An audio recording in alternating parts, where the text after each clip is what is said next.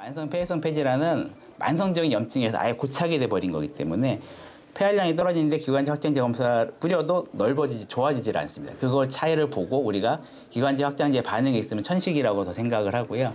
기관지 확장제 반응이 안 보이면 이제 만성 폐해성 폐질환으로 가기 때문에 그 검사가 중요합니다.